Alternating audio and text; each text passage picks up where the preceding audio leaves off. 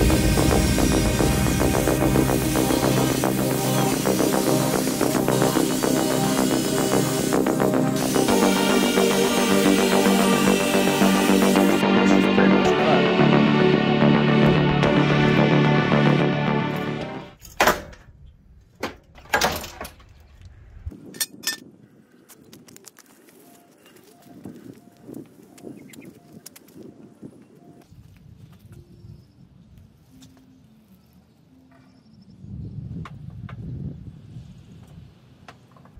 I rolled these two together and I'm pretty happy with the fitment. I left them a little big with a line on on purpose so that I go through and trim a little bit off if I had to. All right, I wanted to show how I brought this frame together. Tried using angle iron in the top and the bottom and then on both sides, but it just didn't really work out. The frames aren't perfectly straight there's some bends in them right here. Um, but anyways I use a chain and binder to close the gap here. This this back section was just a little bit wider than the front section. So I pulled that together got that lined up perfect. And then what I'm aiming for is this hole right here. Both frames have half of that hole so I use this to align it and then I use my tape measure to square it up. And I've got, you know, every clamp known to man. Went to the old Harbor Freight today and bought some more C-clamps. But this is what I did to get it square. I'm pretty happy with that. So I'm gonna get the welder out and I'm gonna tack it, you know, in some key spots and then I'll grind it out some more and then keep welding it. So I'll show you guys after we get the tacks on there. I'll stay taking the clamps off.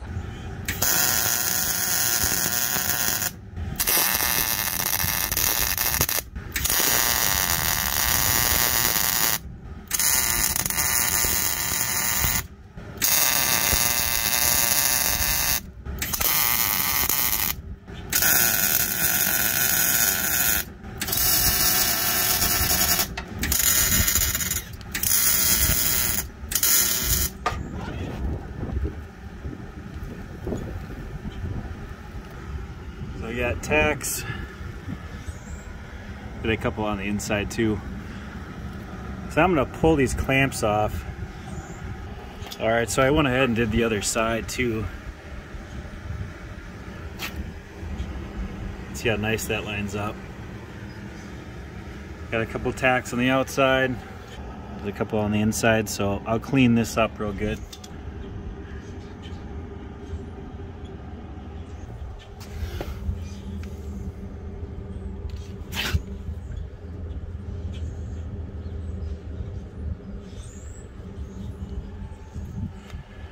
Clean that up good and then weld her in, I guess.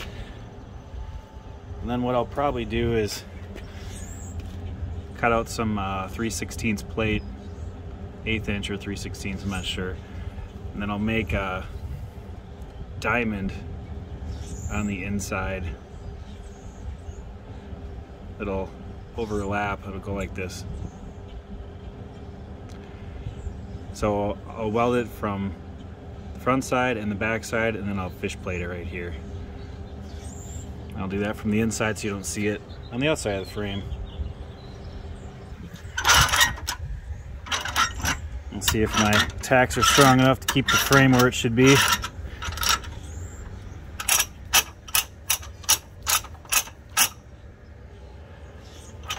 She's nice and loose. I gotta clean up. This part I hate working outside, you get all this mess, you gotta take it in and out every day.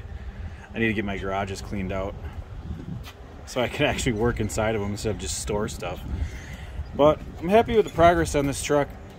Should be pretty nice little four-wheel drive, four-cylinder Ranger when I'm done. All right, so we're gonna finish welding up this Ranger frame. We'll give you a quick look at it before we start. We're gonna use the uh, Miller 252 here. It's got the 75, 25 gas, and they're just using 3 0 wire. I'm gonna start with this one.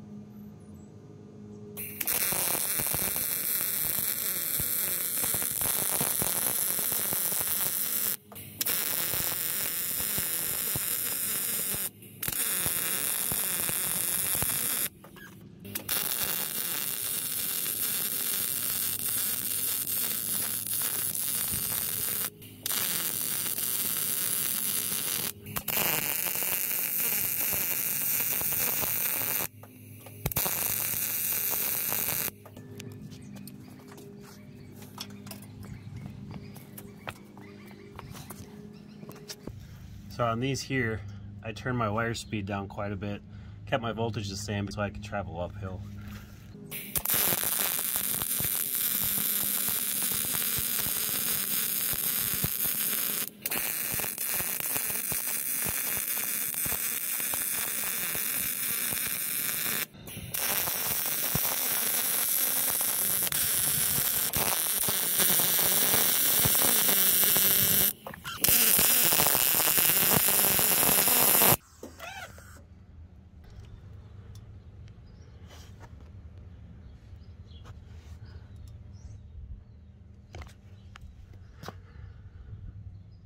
So now we'll uh, clean up the inside a little bit and we'll go ahead and weld that.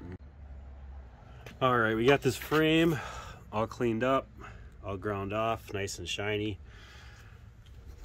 Same way on the inside. So now what we're gonna do is we're gonna take these triangles, I got two of them, and we're gonna put them up inside the frame like that. So that'll distribute any stress on the frame across the broader area and it'll make a stronger frame overall to keep it from cracking if it ever were to start cracking. Really uh, helps dissipate the load and the stress. So we'll go ahead and we'll get those C-clamp down, we'll tack them in on both sides and we'll weld them in.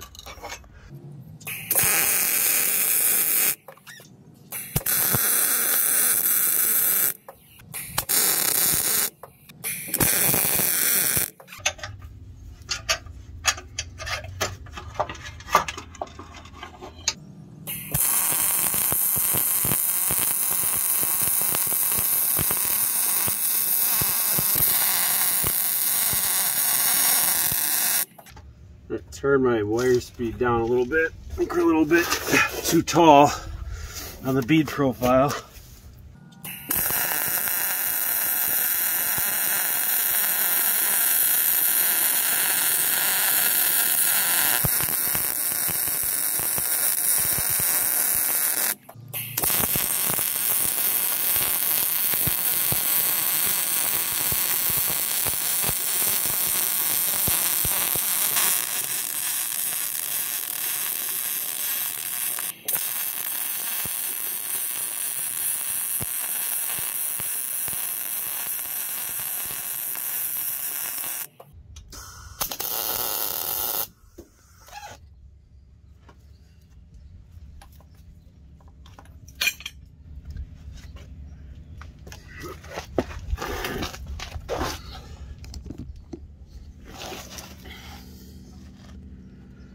Well, it's not the best welds in the world, but I'm happy with it.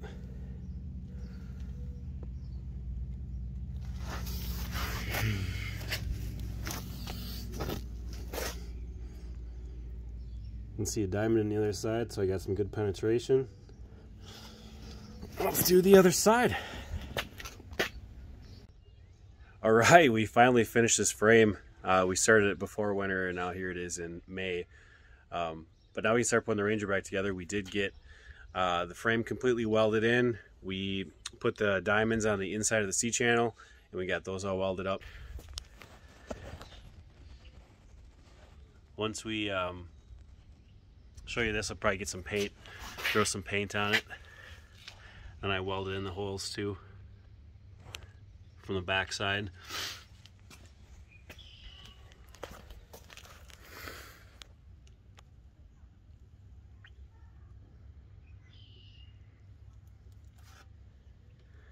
That should be pretty strong. You can't really tell from the outside that that was ever cut in half.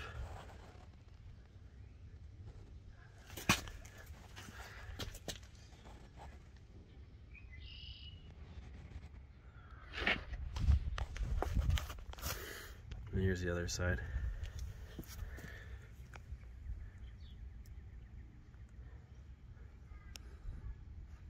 welded those in.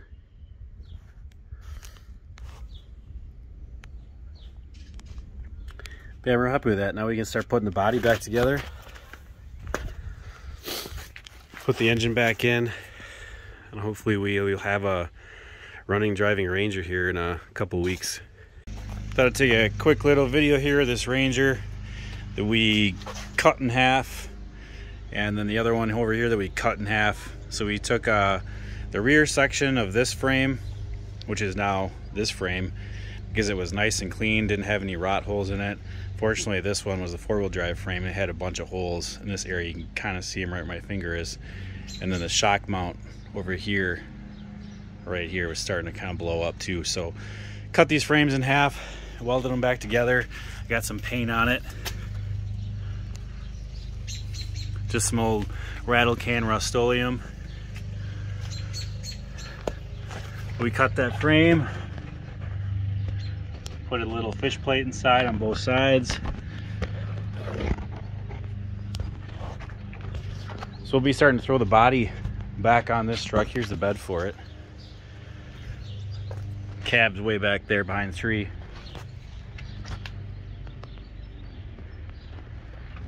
But instead of trying to repair the frame, it was original back here, this back section, I just thought, well, let's go ahead and cut it in half. It'll probably save me a lot of time. And it really probably did.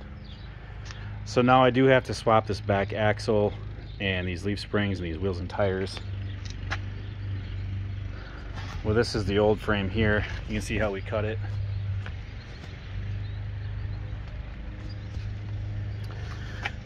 And then this was the whole reason. This is rotted out. It was just so thin. This whole area over here is just paper thin. If you hit it hard enough with a hammer, it would just break. I was gonna repair that. I started cutting it out, but I said, F it. We are going to frame swap, half frame swap the thing. And here too, it's rust jack pretty bad. Can't really see it, but right here, it's actually burst through and this whole thing is kind of concave out towards the camera. My rust is pushing right through there. The reason it's doing that, you can see it just, the inside of the shock tower is just full a rust and it just gathers in there and then pushes and swells against the frame until it pops and bursts.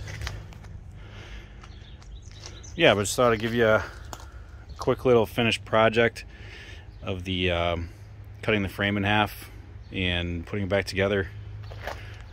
Turned out nice, all the measurements are good. Diagonally from this corner up and then from this corner back are all square the lengths from here up to here are square and then from here back are square. Even the height of the frame from here down to the concrete and then on that side too are all the same. And then we've got the height that's the same from here to the concrete and then same on the other side.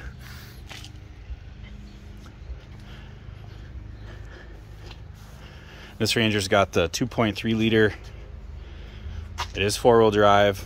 It's got the five-speed manual, and the uh, transfer case is manual as well, which is pretty cool.